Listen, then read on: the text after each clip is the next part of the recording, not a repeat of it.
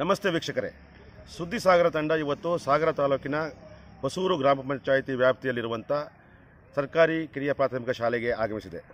ಇಲ್ಲಿಗೆ ಬರಲು ಕಾರಣವಿಷ್ಟೇ, ಇಲ್ಲಿನ ಎಸ್ ಡಿ ಎಂ ಸಿಯ ಅಧ್ಯಕ್ಷರಾದಂಥ ಶೇಖರಪ್ಪನವರು ಸರ್ಕಾರಿ ನೌಕರರಾಗಿದ್ದರು ಸರ್ಕಾರಿ ನೌಕರರಾದವರು ಎಸ್ ಡಿ ಎಂ ಸಿಯ ಅಧ್ಯಕ್ಷರಾಗಲಿಕ್ಕೆ ಅವಕಾಶ ಇಲ್ಲ.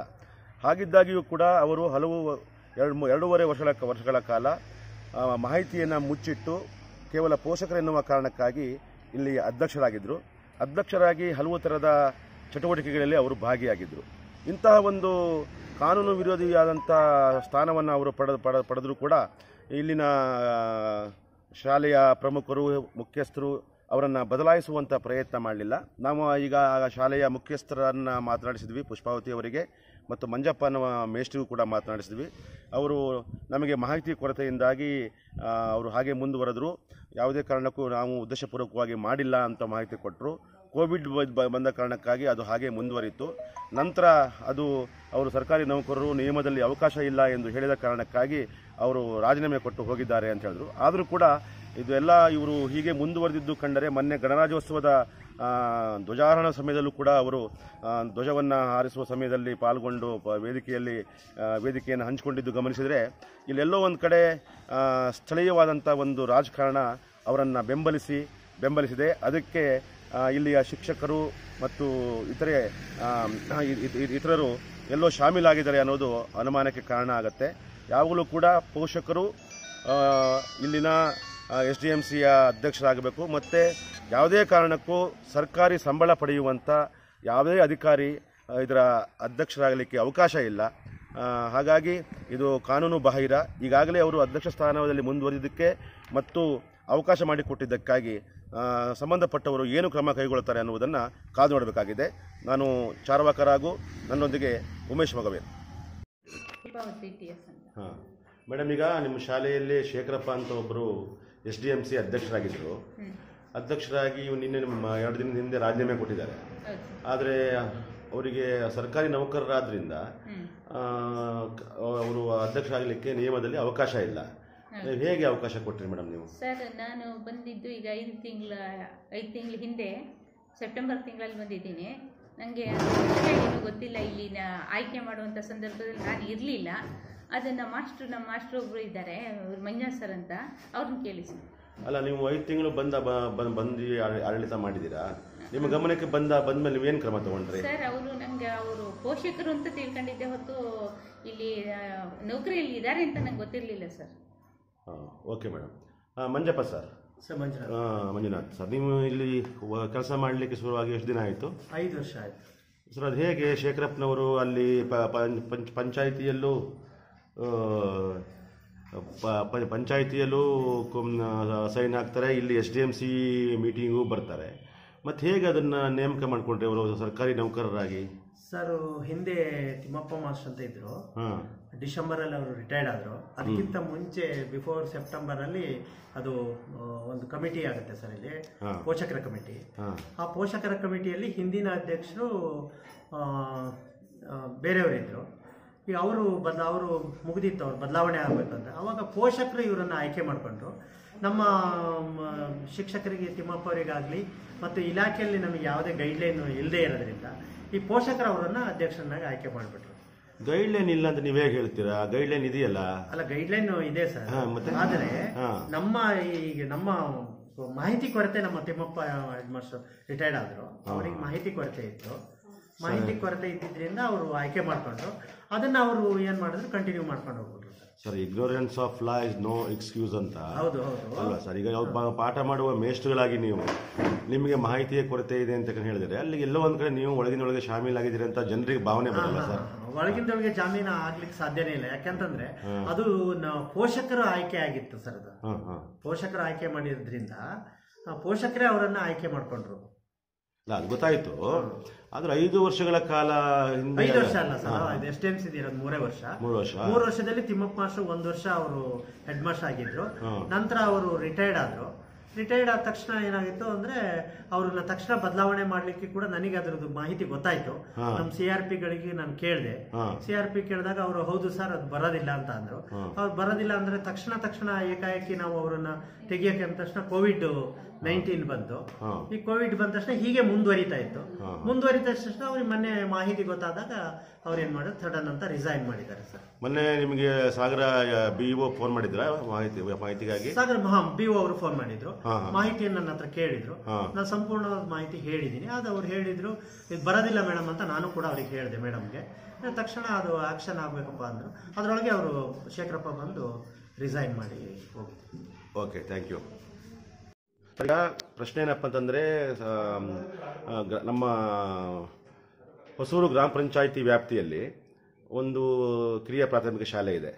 ಆ ಶಾಲೆಯ ಎಸ್ ಡಿ ಎಂ ಸಿ ಅಧ್ಯಕ್ಷರಾಗಿ ನಿಮ್ಮಲ್ಲಿ ಕೆಲಸ ಮಾಡ್ತಾ ಮಾಡ್ತಿರುವ ಅಟೆಂಡರ್ ಆಗಿರ್ತಕ್ಕಂಥ ಶೇಖರಪ್ಪ ಶೇಖರಪ್ಪನವರು ಅಧ್ಯಕ್ಷರಾಗಿದ್ದಾರೆ. ಅಂದರೆ ಮಾಹಿತಿಯನ್ನು ಮುಚ್ಚಿಟ್ಟು ಅವರು ಅಲ್ಲಿ ಅಧ್ಯಕ್ಷರಾಗಿ ಅಧ್ಯಕ್ಷ, ಅಧ್ಯಕ್ಷರಾಗಿದ್ದಾರೆ. ವಾಸ್ತವದಲ್ಲಿ ಕಾನೂನು ಏನು ಹೇಳುತ್ತೆ ಅಂತಂದರೆ, ಸರ್ಕಾರಿ ನೌಕರರು ಸರ್ಕಾರಿಯ ಸೌಲಭ್ಯವನ್ನು ಪಡೆಯುವಂಥವರು ಯಾವುದೇ ಕಾರಣಕ್ಕೂ ಒಂದು ಎಸ್ ಡಿ ಎಂ ಸಿಯ ಅಧ್ಯಕ್ಷರಾಗಲಿಕ್ಕೆ ಸಾಧ್ಯ ಇಲ್ಲ.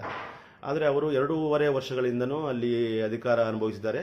ಅದೇ ಹೊತ್ತಲ್ಲಿ ನಿಮ್ಮಲ್ಲೂ ಕೆಲಸ ಮಾಡಿದ್ದಾರೆ. ಇಲ್ಲಿ ಸಹಿ ಸಹಿ ಮಾಡಲಿಕ್ಕೆ ಅವಕಾಶ ಕೊಟ್ಟಿದ್ದೀರಾ? ಮತ್ತು ಅಲ್ಲಿ ಅದೇ ಸಮಯದಲ್ಲಿ ಅಲ್ಲಿ ಸಭೆ ಸಭೆನೂ ಮಾಡಿದ್ದಾರೆ. ಹೇಗೆ ಒಬ್ಬ ವ್ಯಕ್ತಿ ಎರಡು ಕಡೆ ಸಹಿ ಮಾಡಿ ತನ್ನ ಕಾರ್ಯನಿರ್ವಹಣೆ ಮಾಡಲಿಕ್ಕೆ ಸಾಧ್ಯ? ಪಿ ಡಿ ಒ ಆಗಿ ನೀವು ಹೇಗೆ ಅವಕಾಶ ಮಾಡಿಕೊಟ್ರಿ? ಸರ್ ನಮಸ್ತೆ. ಸರ್, ನಾನು ಈ ಗ್ರಾಮ ಪಂಚಾಯತಿ ಬಂದಿದ್ದು ಎರಡು ಸಾವಿರದ ಹತ್ತೊಂಬತ್ತು ಜುಲೈ ಟೈಮಲ್ಲಿ ಸರ್. ಆದರೆ ಅವರು ಅಧ್ಯಕ್ಷರಾಗಿರೋದು ಎರಡು ಸಾವಿರದ ಹದಿನೆಂಟು, ಹದಿನೆಂಟರ ಟೈಮಲ್ಲಿ ಆಗಿದೆ. ಅಂದರೆ ನಾವು ಬರೋದಕ್ಕಿಂತ ಒಂದು ವರ್ಷಕ್ಕಿಂತ ಮುಂಚೆನೇ ಅವರು ಎಸ್ ಡಿ ಎಮ್ಸ್ ಅಧ್ಯಕ್ಷರಾಗಿದ್ದಾರೆ. ಸರ್, ಅಂದರೆ ನಾ, ನನ್ನ ಸಂದರ್ಭದಲ್ಲಿ ಯಾವುದೇ ಕಾರಣಕ್ಕೂ ಸಹಿತ ಅವರು ಅಧ್ಯಕ್ಷರ ಆಗಿದ್ದ ಒಂದು ವಿಚಾರ ಒಂದು ವೇಳೆ ಬಂದಿದ್ರೆ ಖಂಡಿತ ಅದನ್ನು ಅವಕಾಶವನ್ನು ಕೊಡ್ತಿರಲಿಲ್ಲ. ಯಾಕಂದರೆ ಇಲ್ಲೂ ಒಂದು ನಮ್ಮ ಅವರು ಅಟೆಂಡರ್ ಆಗಿ ಇಲ್ಲಿ ಸರ್ವಿಸನ್ನು ಸೇವೆ ಸಲ್ಲಿಸ್ತಾ ಇರೋದ್ರಿಂದ ಏಕಕಾಲದಲ್ಲಿ ಮಾಡೋದು ತಪ್ಪೇ ಆಗುತ್ತೆ. ಮತ್ತು ಜೊತೆಗೆ ನಮ್ಮ ಒಂದು ಅವಧಿಯಲ್ಲಿ S D M C sir ನಾವು ಒಂದು ಐದು ನಿಮಿಷ, ಹತ್ತು ನಿಮಿಷ ಒಳ ಕಾಲ ಅವಕಾಶ ನಾನು ಕೊಡಿ ಅಂತ ಹೇಳಿ, ಮತ್ತು ನಮ್ಮ ಜೊತೆಗೆ ನಮ್ಮ ಇಲಾಖೆಯ ಕೆಲಸಗಳಿಗೆ ಯಾವುದೇ ರೀತಿಯ ತೊಂದರೆ ಆಗದ ರೀತಿಯಲ್ಲಿ ಕೆಲಸವನ್ನು ನಮ್ಮ ಇಲಾಖೆ ಏನು ಕೆಲಸ ಮಾಡೋಕೆ ಮಾಡ್ತಾ ಇದ್ದಾರೆ. ಮತ್ತು ಜೊತೆಗೆ ಅವರು ಮತ್ತು ಶಾಲೆಯ ಹಿತದೃಷ್ಟಿಯಿಂದಲೂ ಸಹಿತ, ಮತ್ತು ಅಲ್ಲಿ ಯಾಕಂದರೆ ಎಸ್ ಡಿ ಎಂ ಅಧ್ಯಕ್ಷರು ಅಂದರೆ ಒಂದು ಶಾಲೆಯ ಒಂದು ಜವಾಬ್ದಾರಿ ಇರುತ್ತೆ, ಅವರಿಗೂ ಮತ್ತು ಶಾಲೆಯ ಮುಖ್ಯೋಪಾಧ್ಯಾಯರಿಗೂ. ಹಾಗಾಗಿ ಒಂದು ಅಲ್ಲಿಯೂ ಸಹಿತ ಮಕ್ಕಳಿಗೆ ಸಹಿತ ತೊಂದರೆ ಆಗಬಾರ್ದು, ಶಾಲೆಗೂ ಸಹಿತ ತೊಂದರೆ ಆಗಬಾರ್ದು ಎಂಬ ಉದ್ದೇಶದಿಂದ ಆ್ಯಕ್ಚುಲಿ ಆ ಒಂದು ಶಾಲೆ ಮುಖ್ಯೋಪಾಧ್ಯಾಯರು ಅದರ ಗಮನ ಹರಿಸಬೇಕಾಗಿತ್ತು. ಕೇವಲ ಐದು ನಿಮಿಷದಲ್ಲಿ, ಹತ್ತು ನಿಮಿಷದಲ್ಲಿ ಅಲ್ಲೂ ವರ್ಕ್ ಮಾಡಬೇಕು ಮತ್ತು ಇಲ್ಲೂ ವರ್ಕ್ ಮಾಡ, ನಮ್ಮ ಒಂದು ಶಾಲೆಗೆ ಸೇವೆ ಕೊಡಬೇಕು ಎಂಬ ಒಂದು ದೃಷ್ಟಿಯಿಂದ ಅವರು ಸಹಿತ ಅದನ್ನು ಗಮನಿಸಬೇಕಾಗಿತ್ತು ಜೊತೆಗೆ ಆ, ನಾವು ಅನ್ನೋದಕ್ಕಿಂತ ಬರೋಕ್ಕಿಂತ ಮುಂಚಿತದಲ್ಲಿ ನಮ್ಮ ಪಂಚಾಯತ್ ಅಭಿವೃದ್ಧಿ ಅಧಿಕಾರಿಗಳು ಸಹಿತ ಏಕಕಾಲದಲ್ಲಿ ಮಾಡೋದು ತಪ್ಪಾಗುತ್ತೆ ಎಂಬ ಒಂದು ವಿಷಯವನ್ನು ಅವರು ಸಹಿತ ಗಮನಿಸಬೇಕಾಗಿತ್ತು ಹಾಗಾಗಿ ನಮ್ಮಲ್ಲಿ ನಮಗೆ ಯಾವುದೇ ರೀತಿ ತೊಂದರೆ ಆಗಲಿಲ್ಲ. ಹಾಗಾಗಿ ನಾವು ಅವರಿಗೆ ಒಂದು ಐದು ಹತ್ತು ನಿಮಿಷಗಳ ಕಾಲ ಅವಕಾಶ ಮಾಡಿಕೊಟ್ಟಿದ್ದೀವಿ ಸರಿ. ಅದರಲ್ಲಿ ಯಾವುದೇ ಒಂದು ಎರಡು ಮಾತಿಲ್ಲ. ಅಲ್ಲ, ಸರಿ. ಕಾನೂನು ಭಾಗವಾಗಿ ಮಾತಾಡೋದು ಬೇರೆ, ಮಾನವೀಯತೆ ಭಾಗವಾಗಿ ಮಾತಾಡೋದು ಬೇರೆ, ಸಾಮಾಜಿಕವಾಗಿ ಮಾತಾಡೋದು ಬೇರೆ. ಈಗ ನೀವು ಎರಡು ಪಾಯಿಂಟನ್ನು ಸಾಮಾಜಿಕ ಭಾಗವಾಗಿ ಅವಕಾಶ ಮಾಡಿಕೊಟ್ಟಿದ್ದೀರಿ ಅಂತ. ಆದರೆ ವಾಸ್ತವ ಕಾನೂನು ಏನಪ್ಪ ಅಂದರೆ as a P D O ನಿಮ್ಮ ಅಧಿಕಾರ ಅವಧಿಯ ವ್ಯಾಪ್ತಿಯಲ್ಲಿ ಬರುವಂಥ ಒಬ್ಬ ಅಟೆಂಡರನ್ನು ಇನ್ನೊಂದು ಹುದ್ದೆಗೆ ಕೆಲಸಕ್ಕಾಗಿ ನಿಮ್ಮ ಗ್ರಾಮ ಪಂಚಾಯಿತಿಗೆ ಅಲ್ಲ ಅಲ್ಲದ ಕೆಲಸಕ್ಕಾಗಿ ನೀವು ಕಳಿಸೋದಿದೆಯಲ್ಲ ಇದು ನಿಮ್ಮ ಕರ್ತವ್ಯ ಲೋಪ ಅಲ್ವೇ ಸರ್ ಹಾಗೇನು ಇಲ್ಲ ಸರ್. ಯಾಕಂದ್ರೆ ನಮ್ಮ ಪಂಚಾಯತಿ ಯಾವುದೇ ರೀತಿಯ ಒಂದು ಕೆಲಸ ಅಡೆತಡೆ ಆಗಿಲ್ಲ ಸರ್. ಒಬ್ಬ ಅಟೆಂಡರ್ ಜವಾನ್ ಆಗಿ ಏನು ಕೆಲಸ ನಿರ್ವಹಿಸಬೇಕು ಅಷ್ಟು ನಿರ್ವಹಿಸಿದ್ದಾನೆ ಮತ್ತು ಜೊತೆಗೆ ನಾವು ಏನು ಹೇಳ್ತೀವೋ ಅಂದ್ರೆ ಪಂಚಾಯತ್ ಅಭಿವೃದ್ಧಿ ಅಧಿಕಾರಿಗಳಿರ್ಬೋದು ಅಧ್ಯಕ್ಷರು ಇರ್ಬೋದು ಉಪಾಧ್ಯಕ್ಷರು ಸದಸ್ಯರು ಇರ್ಬೋದು ಆ ಎಲ್ಲ ಕೆಲಸವನ್ನ ಚಾಚು ತಪ್ಪದೆ ಈಗ ನಮಗಿರೋದು ಒಂಬತ್ತುವರೆ, ಹತ್ತು ಗಂಟೆ ಆದರೂ ಸಹಿತ ಒಂಬತ್ತು ಗಂಟೆ ಬಂದು ಅವರು ಕೆಲಸವನ್ನು ನಿರ್ವಹಿಸ್ತಾ ಇದ್ದಾರೆ. ಕೆಲವೊಂದು ಟೈಮ್ ನಮ್ಮ ಸಂಜೆ ಐದು ಕಾಲ ಆಗುತ್ತೆ, ಐದುವರೆ ಆಗುತ್ತೆ ನಮ್ಮದು ಈ ಟೈಮಿಂಗ್ಸ್ ಆದರೂ ಸಹಿತ ಏಳು ಗಂಟೆವರೆಗೂ ನಾವು ಕಾರ್ಯವನ್ನು ನಿರ್ವಹಿಸ್ತಾ ಇದ್ದೀವಿ, ಇಲ್ಲ ಅಂತ ಅಲ್ಲ. ಆದ್ರೂ ಏನು ನಮ್ಮ ಬರೀ ಅಟೆಂಡರ್ ಮಾತ್ರ ಅಲ್ಲ ನಮ್ಮ ಪಂಚಾಯತ್ ಯಾವುದೇ ಸಿಬ್ಬಂದಿ ಸಹಿತ ನಾವು ಕೆಲಸವನ್ನ ಏನು ನಮ್ಮ ಇಲಾಖೆ ವಹಿಸಿ ಎಲ್ಲ ಕೆಲಸವನ್ನು ನಾವು ನಿರ್ವಹಿಸ್ತಾ ಇದ್ದೀವಿ. ಜೊತೆಗೆ ಅವರು ಶಾಲೆ ಶಾಲೆಯ ದೃಷ್ಟಿಯಿಂದ ಸರ್ ಅಷ್ಟೇ, ಮತ್ತೆ ಏನಿಲ್ಲ. ಶಾಲೆಯು ಸಹಿತ ಮತ್ತೆ ಯಾವ ಸಮಸ್ಯೆ ಆಗಬಾರ್ದು. ಯಾಕಂದ್ರೆ ಒಂದರಿಂದ ಎಂಟನೇ ತರಗತಿವರೆಗೂ ಆ ಶಾಲೆಯಲ್ಲಿ ಮಕ್ಕಳು ಅಲ್ಲಿ ಬರ್ತಾ ಇದ್ದಾರೆ. ಮತ್ತು ದೊಡ್ಡ ಸ್ಕೂಲು ಅವರಿಗೂ ಸಹಿತ ಅಂದರೆ ಈ ರೀತಿ ಮುಂದೆ ಸಮಸ್ಯೆ ಆಗಬಾರ್ದು. ಮುಂದೆ ಇದು ಯಾವ ಸಮಸ್ಯೆ ಆಗಲು ನಾವು ನೋಡ್ಕೊಳ್ತೀವಿ ಸರ್ ಅಷ್ಟೇ. ಮತ್ತೇನಿಲ್ಲ. ಅಲ್ಲ ಈಗಾಗಲೇ ಅವರು ರಾಜೀನಾಮೆ ಕೊಟ್ಟಾಗಿದೆ. ಮತ್ತೇನು ಸಮಸ್ಯೆ ಪ್ರಶ್ನೆ ಅಲ್ಲ ನಿಮ್ಮ ಹೆಸರು ಸರ್? ನನ್ನ ಹೆಸರು ರಾಜು ಎಸ್ ಕೆ ಅಂತ ಹೇಳಿ ಸರ್. ಹೊಸೂರು ಗ್ರಾಮ ಪಂಚಾಯತಿ ಪಂಚಾಯತ್ ಓಕೆ ಥ್ಯಾಂಕ್ ಯು. ನಮಸ್ತೆ ವೀಕ್ಷಕರೇ. ಈಗಾಗಲೇ ಸುದಿಸಾಗರ ತಂಡ ಸಾಗರ ತಾಲೂಕಿನ ಹೊಸೂರು ಗ್ರಾಮ ಪಂಚಾಯಿತಿಗೆ ಆಗಮಿಸಿತ್ತು. ಬರಲು ಮುಖ್ಯವಾದ ಕಾರಣ ಹೊಸೂರು ಗ್ರಾಮ ಪಂಚಾಯಿತಿಯಲ್ಲಿರುವಂಥ ಕಿರಿಯ ಪ್ರಾಥಮಿಕ ಶಾಲೆಯಲ್ಲಿ ಸರ್ಕಾರಿ ನೌಕರನೊಬ್ಬ ಶೇಖರಪ್ಪ ಎನ್ನುವವನು ಅಲ್ಲಿನ ಎಸ್ ಡಿ ಎಂ ಸಿಯ ಅಧ್ಯಕ್ಷರಾಗಿ ಕಾರ್ಯನಿರ್ವಹಿಸಿದರು, ಕಾನೂನು ಬಾಹಿರವಾಗಿ. ಈ ಸಂಬಂಧಪಟ್ಟಾಗಿ ಈಗಾಗಲೇ ನಾವು ಆ ಶಾಲೆಯ ಮುಖ್ಯೋಪಾಧ್ಯಾಯರು, ಆ ಶಾಲೆಯಲ್ಲಿ ಶಿಕ್ಷಕರಾಗಿ ಕೆಲಸ ಮಾಡುತ್ತಿರುವ, ಮಾಡ- ಮಾಡುತ್ತಿರುವವರು ಮತ್ತು ಗ್ರಾಮ ಪಂಚಾಯತ್ ಪಿ ಡಿ ಒ ಅವರಿಗೆ ಮಾತನಾಡಿಕೊಂಡು ಬಂದಿದ್ದೀವಿ. ಈ ಭಾಗದ ಸಾಮಾಜಿಕ ಕಾರ್ಯಕರ್ತ ವೃತ್ತಿಯಲ್ಲಿ ಶಿಕ್ಷಕರಾಗಿದ್ದವರು ಈಗ ಸಾಮಾಜಿಕ ಕಾರ್ಯ ಕಾರ್ಯದಲ್ಲಿ ತೊಡಗು- ತೊಡಗಿಕೊಂಡಿರುವಂತಹ ಮುರಳೀಧರ್ ಅವರು ನಮ್ಮೊಂದಿಗಿದ್ದಾರೆ. ನಮಸ್ತೆ ಮುರಳೀಧರ್ ಅವರೇ. ನಮಸ್ತೆ ಸರ್. ಸುದ್ದಿಸಾಗರಕ್ಕೆ ಸ್ವಾಗತ ತಮಗೆ. ತಮಗೂ ಸ್ವಾಗತ. ನೋಡಿ ಮುರಳೀಧರ್ ಅವರೇ ಈಗ ಈ ಒಂದು ಸರ್ಕಾರಿ ನೌಕರನೊಬ್ಬ ನಿಮ್ಮ ಹೊಸೂರು ಗ್ರಾಮ ಪಂಚಾಯತ್ ಶಾಲೆಯ ಎಸ್ ಡಿ ಎಂ ಸಿ ಅಧ್ಯಕ್ಷರಾಗಿ ಕಳೆದ ಒಂದು ಮೂರುವರೆ ವರ್ಷದಿಂದ ಕಾರ್ಯನಿರ್ವಹಿಸಿದ್ದಾರೆ ಎಂಬ ಮಾಹಿತಿ ನಮಗೆ ದೊರಕಿದೆ. ಇದ್ರ ಬಗ್ಗೆ ನಿಮ್ಮ ಅಭಿಪ್ರಾಯ ಏನು? ಇದು ಪಿ ಡಿ ಅವರ ವೈಫಲ್ಯವೇ ಕಾರಣ ಅನಿಸುತ್ತೆ. ಇದು ಪಿ ಡಿ ಅವರು ಕೂಡ ತಮ್ಮ ಸಿಬ್ಬಂದಿಗಳು ಎಲ್ಲಿ ಹೇಗೆ ಕೆಲಸ ಮಾಡ್ತಾರೆ ಅನ್ನೋದನ್ನು ಅವರು ಗಮನಿಸಬೇಕಾಗ್ತದೆ ಯಾ ಪಿ- ದುರ್ಬಲ ಪಿ ಡಿ ಅವರು ನಮ್ಮ ಸ ಆನಂದ ನಮ್ಮ ಇದಕ್ಕೆ ಹೊಸೂರು ಗ್ರಾಮ ಪಂಚಾಯತ್ಗೆ ಆಗಮಿಸಿದ್ರಿಂದ P D O Raju S K ಅನ್ನೋರು ಇಂತಹ ಒಂದು ಈ ದುರಾಡಳಿತಗಳು ನಡೀತಾ ಹೋಗ್ತದೆ. ಯಾರ ಮೇಲೆ ಒಬ್ರಿಗೆ ಕಂಟ್ರೋಲ್ ಇರೋದಿಲ್ಲ. ಅವನೊಬ್ಬ ಸರ್ಕಾರಿ ನೌಕರನಾಗಿ ಎಸ್ ಟಿ ಎಂ ಸಿ ಅಧ್ಯಕ್ಷನಾಗಿ ಮೂರು ವರ್ಷಗಳ ಕಾಲ ಎಸ್ ಟಿ ಎಂ ಸಿ ಅಧ್ಯಕ್ಷನಾಗಿ ಮಾಡಿದ್ದಾನೆ. ಅವರು ಎರಡು ಜನರಿಗೂ ಕೂಡ ಒಂದು ಸಾಮೀಲಾಗಿ ಕೆಲಸ ಮಾಡ್ತಿದ್ದಾರೆ. ಅನೇಕ ಪಂಚಾಯತಿಯ ಕೆಲಸಗಳಲ್ಲಿ ಅವರು ಎರಡು ಜನರು ಕಮಿಷನ್ ವ್ಯವಹಾರದಲ್ಲಿ ತೊಡಗಿದ್ದಾರೆ. ಯಾಕಂದರೆ ಅವ್ರನ್ನ ಎಸ್ ಟಿ ಎಂ ಸಿ ಅಧ್ಯಕ್ಷನಾಗಿ ಉಳಿಸ್ಕೊಂಡಿದ್ರೆ ಎಸ್ ಟಿ ಎಂ ಸಿಯ ಕಾಮಗಾರಿಗಳನ್ನು ಮಾಡ್ಬೋದು. ಶಾಲೆ ಹರಾಜುಗಳನ್ನು ಹಳೆ ಬಿಲ್ಡಿಂಗ್ ಹರಾಜಲ್ಲಿ ಮಾಡಿದಾಗ ತಾವು ಕೆಲವು ಗುತ್ತಿಗೆದಾರರೊಂದಿಗೆ ಹೊಂದಾಣಿಕೆ ಮಾಡ್ಕೊಂಡಿದ್ದಾರೆ. ಅದು ಈ ಹಿಂದೆ ನಿಮ್ಮ ಒಂದು ವಿಡಿಯೋದಲ್ಲೂ ಕೂಡ ಸುದ್ದಿ ಪ್ರಸಾರ ಆಗಿತ್ತು ಈ ಹಿಂದೆನೇ. ಇದು ಹೊಂದಾಣಿಕೆ ನಡೆದಿದೆ ಅಂತ. ಆದರೂ ತಾವು ಅಲ್ಲಿಗೆ ಬಿಟ್ಬಿಟ್ರಿ ನೆಗ್ಲೆಕ್ಟ್ ಮಾಡಿಬಿಟ್ಟಿದ್ರೆ. ಆದರೆ ಈ ಸಂದರ್ಭದಲ್ಲಿ ನಾವು ನಿಮ್ಮನ್ನು ಕರೆಸಿ ಈ ವಿಚಾರನೂ ಗಂಭೀರವಾಗಿ ಹೇಳ್ಬೇಕು ಹೇಳಬೇಕಾಗ್ತದೆ.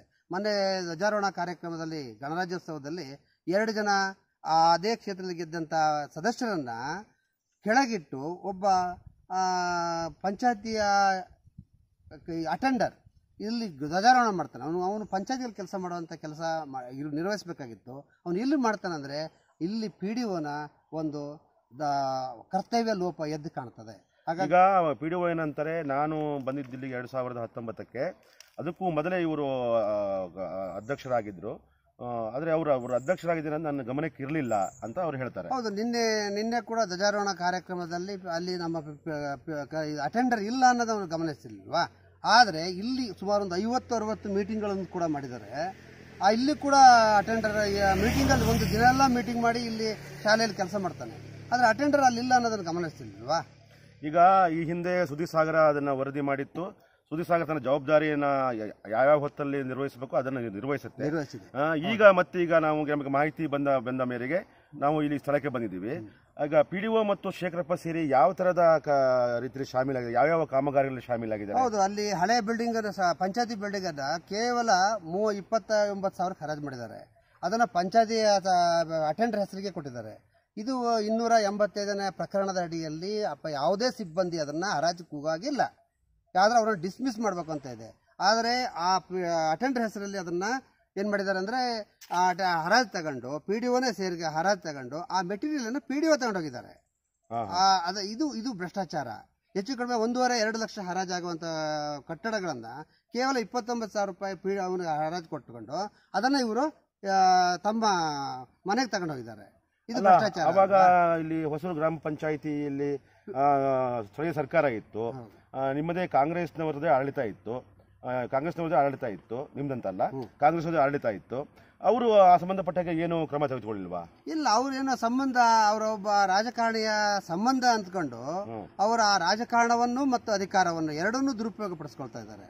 ಯಾರು P D S K Raju ಅವರು. ಈ ಹಿಂದೆ ಯಾರ ಸಂಬಂಧಿ ಅವರು ಅವರು ಕಾಗೋಡು ತಿಮ್ಮಪ್ಪನ ಅಣ್ಣನ ಮಗ ಯಾರ ಕಾಗೋಡು ಅಣ್ಣಪ್ಪನ ಅವರ ತಮ್ಮನ ಮಗಳನ್ನ ಇವರಿತನ ಕೊಟ್ಟಿದ್ದಾರಂತೆ. ಅವರ ಈ ಹಿಂದೆನೂ ಕೂಡ ಯಾವುದೋ ಒಂದು ನಾವೊಂದು ನಂದೇದೇ ಒಂದು ಮನೆಯ ಒಂದು ಡಿಮ್ಯಾಂಡ್ ಸಂಬಂಧವಾಗಿ ಕೋರ್ಟ್ ಆದೇಶ ಆಗಿದೆ. ತಾಲೂಕ್ ಪಂಚಾಯತಿ ಅಧ್ಯಕ್ಷರ ಕೋರ್ಟ್ ಆದೇಶ ಆಗಿದೆ. ಒಂದು ತಿಂಗಳಿಂದ ಅದನ್ನ ಡಿಮ್ಯಾಂಡ್ ಕಟ್ಟಿ ಇದಕ್ಕೆ ಕೊಡಿ ಅಂತ. ಕೋರ್ಟಿಗೆ ಹೋಗೋಂಥ ಸಂದರ್ಭಗಳನ್ನು ಕೂಡ ಇವರು ಕ್ರಿಯೇಟ್ ಮಾಡಿದ್ದಾರೆ. ಅಲ್ಲಿ ಹೋದಾಗ ಇವ್ರ ಕೆಲಸವನ್ನು ಮಾಡದೇನೆ, ಇವರು ಸಸ್ಪೆಂಡ್ ಸಸ್ಪೆನ್ಷನ್ಗೆ ಅಧ್ಯಕ್ಷರು ಬರೀರಿ ಅಂತ ಸಂದರ್ಭದಲ್ಲಿ ಇವರು ಕೂಡ ಇವರು ಸಂಬಂಧಿಕರನ್ನ ತಿಮ್ಮಪ್ಪನವರು ಮನೆಗೆ ಕಳಿಸಿ ಅದನ್ನ ಮಾಡಿಬೇಡ, ತಡಿಬೇಡ, ತಡೆದು ಹಿಡಿದು ಹಿಡಿದಿರ್ತಾರೆ. ಇಲ್ಲಿ ಎಲ್ಲೋ ಒಂದು ಕಡೆ ನಮಗೆ ತಿಮ್ಮಪ್ಪನವ್ರ ಮೇಲೂ ಕೂಡ ನಮ್ಮೊಂದು ಒಂದು ರೀತಿಯ ನಂಬಿಕೆ ಕಡಿಮೆ ಆಗ್ತದೆ. ಯಾಕಂದ್ರೆ ಪಂಚಾಯತಿ ವಿಜಿ ವಿಸಿಟ್ ಕೊಡೋ ಸಂದರ್ಭದಲ್ಲಿ ಯಾರಾದರೂ ಒಬ್ಬ ಸಾರ್ವಜನಿಕರು ಒಬ್ಬ ಪಂಚಾಯತಿ ಇವ್ರನ್ನ ಪಂಚಾಯತಿ ಅಧಿಕಾರಿಗಳ ದೂರು ಕೊಟ್ಟರೆ ಹೆಣ್ಮಕ್ಳಾದ್ರೆ ಹಿಡ್ಕುಂಟೆ ಹೊಡಿಯೋಕ್ಕಾಗಲ್ಲ ಅಥವಾ ಗಂಡಸಾದ್ರೆ ಮೆಟ್ಟನ ಹೊಡ್ಕೊಬಾರ ಅಂತ ಹೇಳೋಂಥ ತಿಮ್ಮಪ್ಪನರು, ಅವ್ರ ಸಂಬಂಧಿಕರು ಅಂತ ಕೂಡಲೇ ಇವ್ರನ್ನ ಉಳಿಸೋಂಥ ಕೆಲಸವನ್ನು ಮಾಡಬಾರ್ದು. ಇವರ ಯೋಗ್ಯತೆಗೂ, ಘನತೆಗೂ ಯೋಗ್ಯ ಅಲ್ಲ ಅನಿಸುತ್ತೆ. ಈಗ ಮುಖ್ಯವಾಗಿ ಈ ಒಂದು, ಏನು, ಅವರು ಅಧಿಕಾರ ದುರುಪಯೋಗ ಒಂದ್ ಕಡೆ ಪಿ ಡಿ ಅವರ ಅಧಿಕಾರ ದುರುಪ- ದುರುಪಯೋಗ. ಇನ್ನೊಬ್ಬ ಒಂದು ನಿಮಿಷ ಒಂದ್ ನಿಮಿಷ. ಆಮೇಲೆ ಇವರ ಅಟೆಂಡರ್ನ ದುರ ದುರುಪಯೋಗ. ಮತ್ತು ಈ ಶಾಲೆಯ ಮುಖ್ಯಸ್ಥರು ಇದನ್ನು ಗಮನಿಸದೆ ಅವರನ್ನ ಆ ಸ್ಥಾನದಲ್ಲಿ ಮುಂದುವರಲಿಕ್ಕೆ ಅವಕಾಶ ಮಾಡಿಕೊಟ್ಟಿದ್ದು.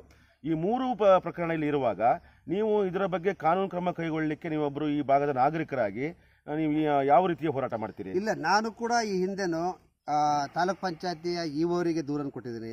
ಸಿ ಎಸ್ ಅವರಿಗೆ ದೂರು ಕೊಟ್ಟಿದ್ದೀನಿ ಅವರು ಕೂಡ ಕ್ರಮ ಕೈಗೊಳ್ಳಿ ಅಂತ ಹೇಳಿದ್ದಾರೆ. ಆದರೆ ಇದ್ರ ಹಿಂದೆ ಎಲ್ಲೋ ಒಂದು ಕಡೆ ನಮ್ಮ ತಾಲೂಕ್ ಪಂಚಾಯತಿ ಇವ ಕೂಡ ಇವರ ಒಂದು ಪಿ ಡಿ ಒಗಳ ದುರಾಡಳಿತವನ್ನು ರಕ್ಷಿಸುವಂಥ ಕೆಲಸವನ್ನು ಕೂಡ ಮಾಡ್ತಿದ್ದಾರೆ ಅವ್ರು ಯಾವತ್ತೂ ಕ್ರಮ ಕೈಗೊಳ್ಬೋದಾಯಿತು. ಆ ಕೋರ್ಟ್ ಆದೇಶವನ್ನು ಒಂದು ತಿಂಗಳಲ್ಲಿ ಮಾಡುವಂತ ಅಂದರೆ ನಾವು ಹತ್ತಾರು ಬಾರಿ ಅವರಿಗೆ ನಾವು ದೂರನ್ನು ಕೊಡ್, ಕೊಡಬೇಕಂತ ಸಂದರ್ಭಗಳು ಅವ್ರಿಗೆ ಬಂದಿದೆ. ಆದರೆ ಅವರು ಕ್ರಮ ಕೈಗೊಳ್ತಾ ಇಲ್ಲ. ಇವತ್ತು ಬರೀತೀನಿ, ನಾಳೆ ಬರೀತೀನಿ, ನಾಡ್ದು ಬರೀತೀನಿ ಅಂತ ಹೇಳಿ ಸುಮಾರು ಎಂಟು ತಿಂಗಳ ಕಾಲ ಅದನ್ನು ಪೆಂಡಿಂಗ್ ಹಾಕ್ತಾ ಇದ್ದಾರೆ. ಯಾಕೆ ಇವ್ರು ಇವ್ರ ಹಿಂದೆ ಯಾರಿದ್ದಾರೆ? ಇವ್ರ ಹಿಂದೆ ಆದರೆ ನಮ್ಮ ತಾಲೂಕು ಆಡಳಿತ ಇಲ್ಲೆಲ್ಲೋ ಒಂದು ಕಡೆ ದುರ್ಬಲ ಆಗಿದೆ ಅಂತ ಅನಿಸುತ್ತೆ ನಮಗೆ. ತಾಲೂಕು ಆಡಳಿತದಲ್ಲಿ ಇವರ ನಮ್ಮ ತಾಲೂಕು ಆಡಳಿತದ ಎಂ ಶಾಸಕರಿಗೆ ಈ ಅಧಿಕಾರಿಗಳ ಮೇಲೆ ಎಲ್ಲೋ ಒಂದು ಕಡೆ ಹಿಡಿತಾ ಇಲ್ಲ ಅನಿಸುತ್ತೆ. ಈ ಈ ಅವರು ಎಲ್ಲ ಈ ಭ್ರಷ್ಟಾಚಾರಿಗಳನ್ನ ತಮ್ಮ ತಮಗೆ ಅನುಕೂಲ ತಕ್ಕಂತೆ ವ್ಯವಸ್ಥೆ ಮಾಡ್ಕೊಂಡಿರೋದ್ರಿಂದ ಯಾವ ಅಧಿಕಾರಿಗಳು ಕೂಡ ಇವರು ಮಾತನ್ನು ಕೇಳಿದ್ರೆ ಈಗ ಕಾನೂನಾತ್ಮಕವಾಗಿ ಹೋರಾಟ ಮಾಡಲಿಕ್ಕೆ ಅವಕಾಶಗಳಿದ್ದಾವೆ ನೀವು ಈ ಮೂರು ಪ್ರಕರಣವನ್ನು ಇಟ್ಕೊಂಡು ನೀವು ಯಾವ ರೀತಿಯಲ್ಲಿ ಅದು ಡಿ ಸಿ ಇರ್ಬೋದು ಅಥವಾ ಜಿಲ್ಲಾ ಪಂಚಾಯಿತಿ ಅಧಿಕಾರಿಗಳಿರ್ಬೋದು ಅಥವಾ ಇನ್ನೂ ಮೇಲಿನ ಅಧಿಕಾರಿಗಳಿರ್ಬೋದು ಇವರು ಈ ಥರ ಕರ್ತವ್ಯ ಲೋಪ ಮಾಡಿದ್ದಾರೆ. ಯಾಕಂದರೆ ಶೇಖರಪ್ಪ ಸಂಬಳ ತಗೋತಾ ಇರೋದು ಜ- ಜಿಲ್ಲಾ ಪಂಚಾಯತಿನ ಅನುಮೋದನೆಯ ಮೂಲಕ ಆತರಿಗೆ ಸಂಬಳ ಬರ್ತಾ ಇರೋದು. ಆಯ್ತಾ? ಹಾಗಾಗಿ ನೀವು ಅಲ್ಲಿ ಯಾವ ರೀತಿಯ ಫೈಟ್ ಮಾಡ್ತೀರಾ ಅದ್ರ ಬಗ್ಗೆ ಹೇಳಿ. ಈಗ ಈಗ ಒಂದು ಎರಡನೇ ತಾರೀಕು ಇವ ಅವರಿಗೆ ಇದರ ಎಲ್ಲಾ ದಾಖಲೆಗಳನ್ನ ಅವ್ರು ಮಾಡಿದಂಥ ಹಗರಣಗಳನ್ನ ಅವ್ರಿಗೆ ಕೊಟ್ಟಿದ್ದೀವಿ. ಆದರೆ ಅವರು ಕ್ರಮ ಕೈಗೊಂಡಿಲ್ಲ ಒಂದು ವಾರದಲ್ಲಿ ಕ್ರಮ ಕೈಗೊಂಡಿಲ್ಲ ಅಂದ್ರೆ ನಾನು ಇವ ಆಫೀಸ್ ಮುಂದೆ ಧರಣಿ ಕೊಡ್ತೀನಿ ಅಲ್ಲಿಯೂ ಆಗಲಿಲ್ಲ ಅಂದರೆ ಸಿ ಎಸ್ ಅವರ ಆಫೀಸ್ ಮುಂದೆ ದ ಇದು ಕೊಟ್ಟು ಪ್ರೆಸ್ ಮೀಟ್ ಮಾಡಿ ಅವರ ಆಫೀಸ್ ಮುಂದೆ ಧರಣಿ ಕೂರಿ ಕಡೆ ಇದ್ದೀವಿ ಸಿದ್ಧರಾಗಿದ್ದೀವಿ ಇವರ ಮೇಲೆ ಸರಿಯಾದ ಕಾನೂನು ಕ್ರಮ ಕೈಗೊಳ್ಳಲೇಬೇಕು ಇವರು ಎರಡು ದಿನ ಅಮಾನತುಗೊಳಿಸಲೇಬೇಕು. ಅಮಾನತುಗೊಳಿಸಿ ಇವರನ್ನ ಸರಿಯಾದ ಕಾನೂನು ಕ್ರಮ ಕೈಗೊಳ್ಳೋದು, ಕೈಗೊಳ್ಳೋ ತನಕ ಇದು ನಮ್ಮ ಹೋರಾಟ ಇದ್ದೇ ಇರ್ತದೆ. ಧನ್ಯವಾದಗಳು ಮುರಳೀಧರ್ ಈಗಾಗಲೇ ಅವರು ಏನು ಇವತ್ತು ಒಂದು ಕರ್ತವ್ಯ ಲೋಪವನ್ನು ಮಾಡಿದಂಥ ಅಧಿಕಾರಿಗಳ ಏನು ಕ್ರಮ ಕೈಗೊಳ್ಳದಿದ್ದರೆ ನಾನು ಹೋರಾಟವನ್ನು ನಿರಂತರವಾಗಿ ಮಾಡ್ತೇನೆ. ಸಾಗರದ ಇ ಒ ಕಚೇರಿ ಎದುರು ಧರಣಿ ಧರಣಿ ಕೂರ್ತೇನೆ. ಸಾಧ್ಯವಾದ ಜಿಲ್ಲಾ ಪಂಚಾಯಿತಿ ಕಚೇರಿ ಎದುರು ಧರಣಿ ಕೂರ್ತು ಕೂರ್ತೇನೆ ಎಂಬ ಮಾತನ್ನು ಹೇಳಿದ್ದಾರೆ.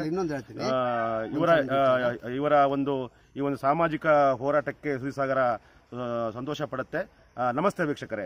ನಾನು ನಾನು ಸುದ್ದಿಸಾಗರದಿಂದ ಪ್ರಧಾನ ಸಂಪಾದಕ ಚಾರ್ವಾಕರ್ ಹಾಗೂ ನನ್ನೊಂದಿಗೆ ಸುದ್ದಿಸಾಗರದ ಸುದ್ದಿ ಸಂಪಾದಕರಾದಂಥ ಉಮೇಶ್ ಮೊಗವೀರ.